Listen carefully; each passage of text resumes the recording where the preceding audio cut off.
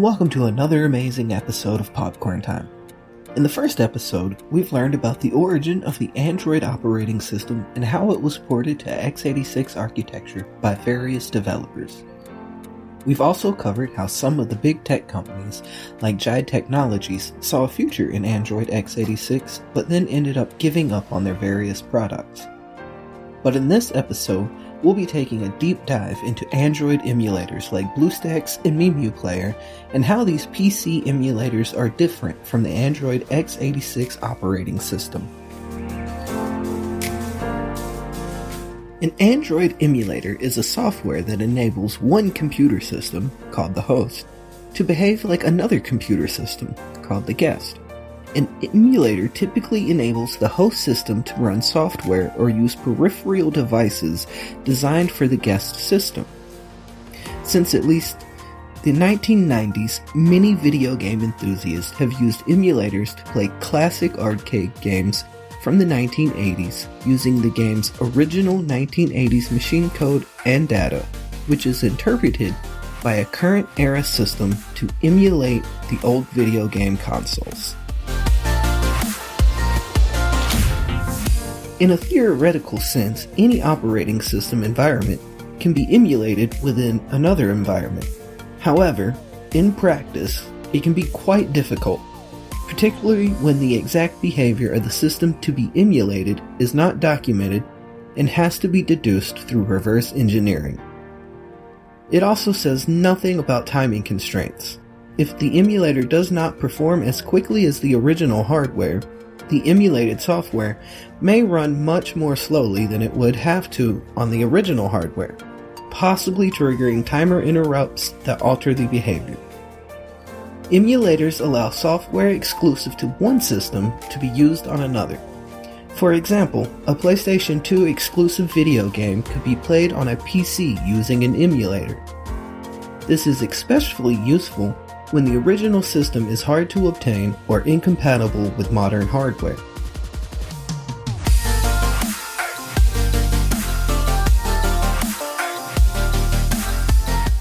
Android uses a Linux kernel to communicate with the hardware and manage processes on the system.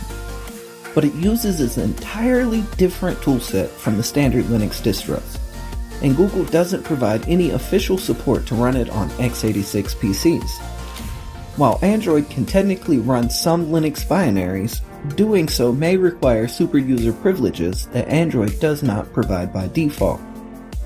While Android natively supports mouse pointer, most of the apps expect users to have a touchscreen, so some emulators like BlueStacks have built-in smart key mapping that can emulate both keyboard and mouse in any game you play on it.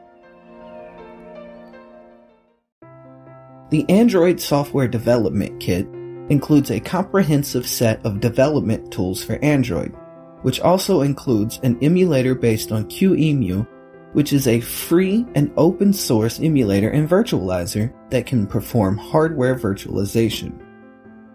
The Android emulator provides almost all of the capabilities of a real Android device. You can simulate incoming phone calls and text messages, specify the location of the device, simulate different network speeds, simulate rotation and other hardware sensors, access the Google Play Store, and much more. But this emulator is focused on productivity and development of Android apps.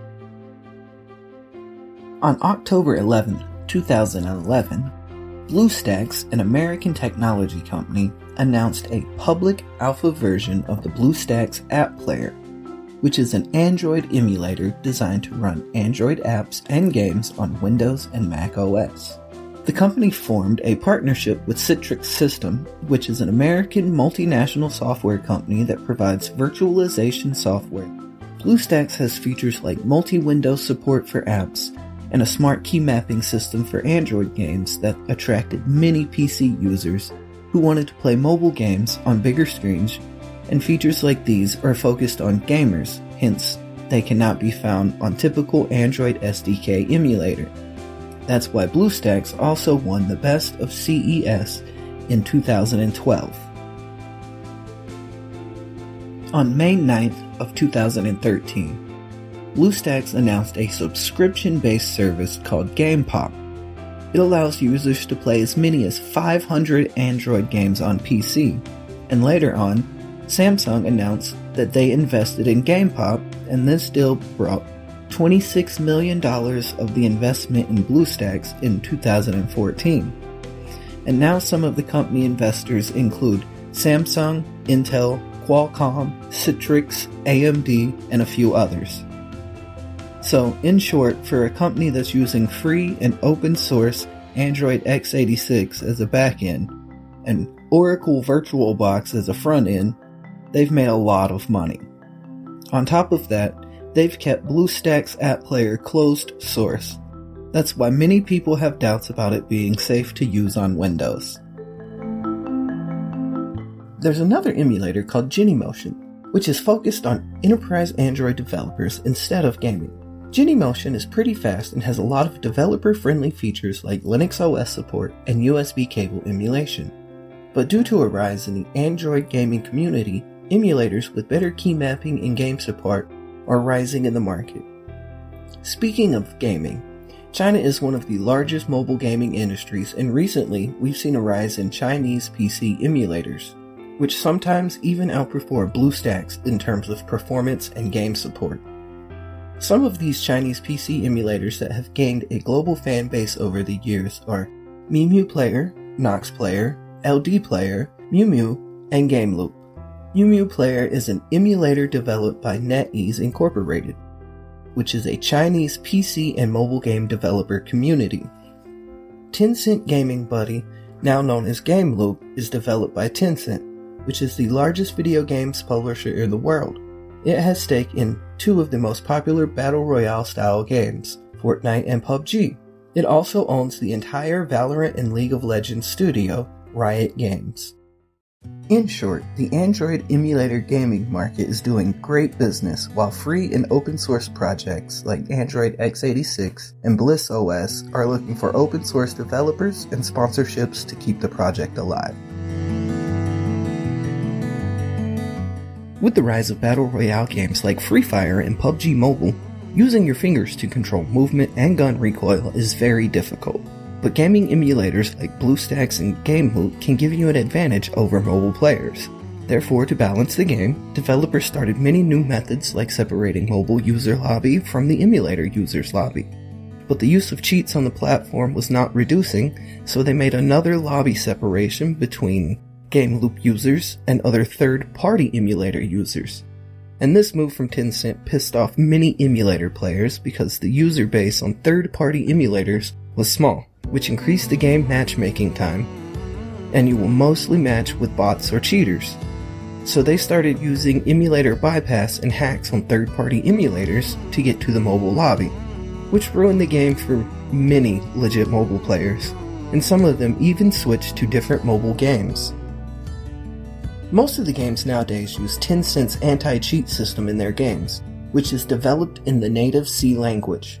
Therefore, any framework level modification in the system can't bypass it.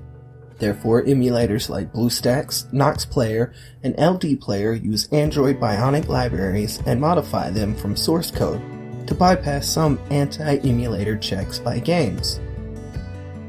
Android Bionic is a C library that is in direct contact with the Linux kernel and provides core features like memory allocation and system properties.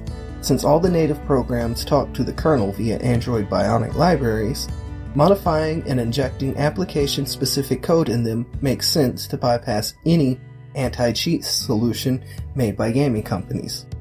This is one of the reasons people get banned in these popular emulators since gaming companies like Tencent continuously patch and fix their anti-cheat system.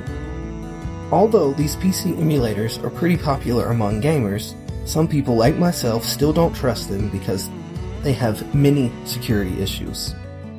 These emulators use outdated Android versions like 4.4 and 5.1 which have many critical vulnerabilities that a hacker can exploit and remotely hack your Google account or even gain root permissions of your emulator system. And if getting your Google account access is not enough, some of them also have a Windows background process that runs during Windows startup, and this process also has admin access so they can monitor every activity on your Windows system and even disable your antivirus or firewall software. All of these emulators are closed source, so you can't find out what they're doing with your data. And this is one of the reasons some antivirus companies like Bitdefender blocks these emulators from running or even installing in the system. So now let's talk about is all those applications are safe or not. Well, to be honest, most of those applications are safe. The reason is very simple because you have to think in, in business standpoint if those applications have virus in them most of the people are not going to use those applications. And if there are not a good amount of users the company is not gonna last for very long and they have to shut the doors. So that's the reason uh, for business standpoint. And generally most of the android emulator doesn't have viruses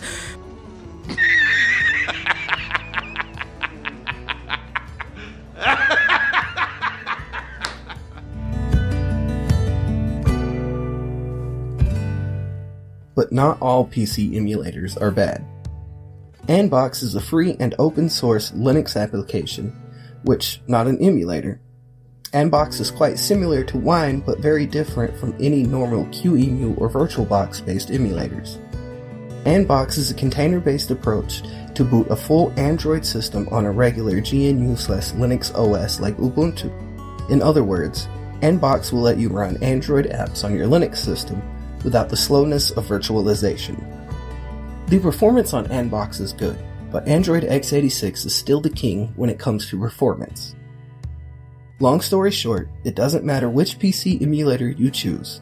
If you care about privacy, security, and pure performance on your old hardware, then Android x86 is the best solution out there.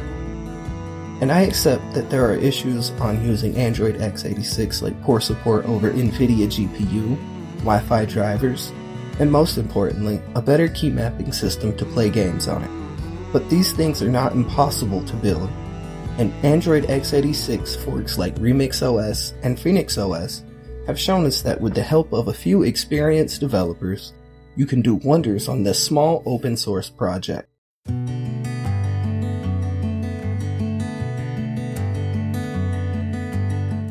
Our goal as part of this community is to bring more young, enthusiastic people who can contribute their time and skills to these projects.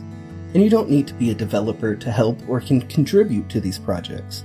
Just download these builds, test them on your hardware, then provide proper feedback is more than enough for a developer. There are many other community forums and Discord groups about Android x86 and Phoenix OS, and most of them lack basic knowledge about Android x86. So they either supply cheats for games which they copied from other people or groups, and some of them even call themselves Android x86 developers for adding boot animations and wallpapers into Phoenix OS and Prime OS. They are just one of those copycats who spread fake news or create useless drama among the community. In upcoming episodes, I'll be doing a special video exposing each and every one of them, so make sure to subscribe for upcoming videos. And if you have any suggestions or ideas for future episodes, you can comment below, and I would love to hear about your experience with these PC emulators. That's all for the second episode of Popcorn Time. I'm Ghostface, and I hope you've learned something new today. Don't forget to like, share, and subscribe to the channel. And stay tuned for the next episode.